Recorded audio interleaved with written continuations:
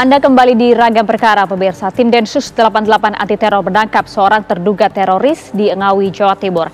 Dari dalam rumah, petugas menyita ada sejumlah barang bukti, yaitu beberapa ponsel dan laptop milik terduga teroris. Sebuah rumah yang berada di Dusun Cungbelut, RT 4 RW 11 Desa Semen Kecamatan Paron Ngawi Jawa Timur digeledah oleh tim Densus 88 anti teror. Penggeledahan ini menindaklanjuti hasil penangkapan salah satu terduga teroris oleh tim Densus 88 di Jawa Tengah. Berdasar pada keterangan warga sekitar, terduga teroris ditangkap usai menghantarkan sekolah salah satu anaknya. Diduga pelaku yang diketahui bernama Slamet Utoyo 51 tahun ini adalah warga asli desa Gelam Jaya, Kecamatan Pasar Kemis, Kabupaten Tangerang, Banten. Terduga pelaku tinggal di rumah tersebut sekitar dua tahun.